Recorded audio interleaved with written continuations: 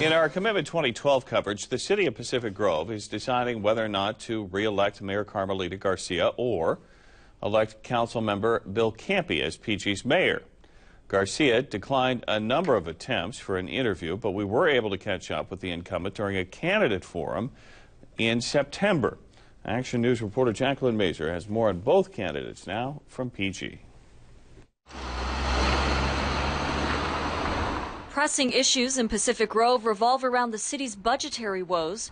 Business vitality downtown is lacking, and proposals to install a brand new hotel in the old Holman building is sparking some debate.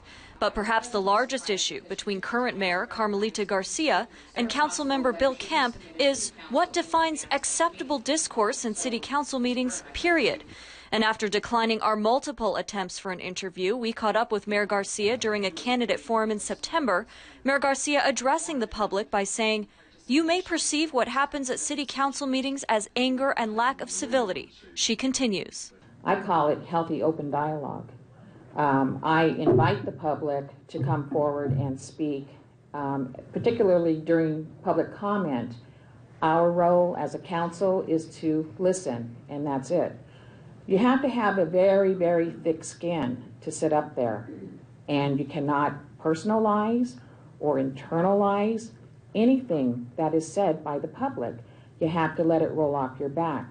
What people are really looking for is a constructive dialogue around practical and workable solutions for our city. And um, that's what I've always worked for. I think we can do better on that front. Candidate Bill Kemp has lived in Pacific Grove since 2003 and was elected to council in 2008. He says people want civil dialogue. They want reasonable people who are trying to do reasonable things for the town, he says. And Kemp is determined to make this a reality if elected.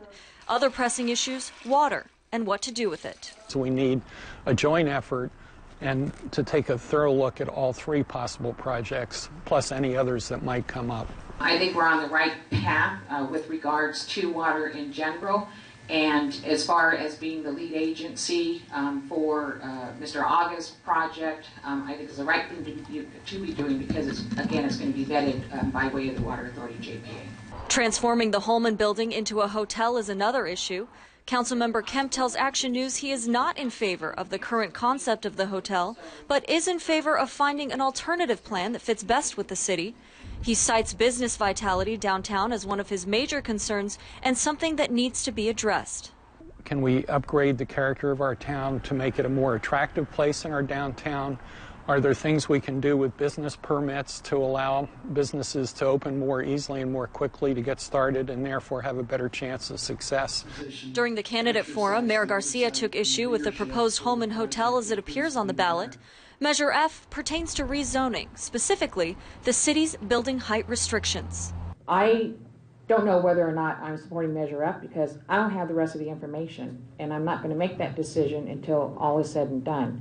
And so everyone knows the developer is footing the bill for everything, and our city staff is not doing anything out of the ordinary that they would not be doing for anybody else who came to Pacific Grove. Garcia served on the city council in 2008 and with a flip of a coin, literally, was elected mayor of Pacific Grove in 2009.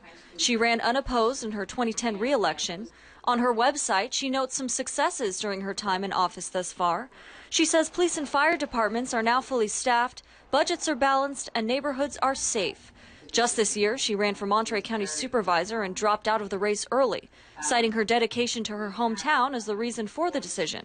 Now, Mayor Garcia faces an opponent, a member of the city council no less. And as looming decisions come to light, one thing is certain there's no coin toss this time. In Pacific Grove, Jacqueline Mazer, KSBW, Action News 8.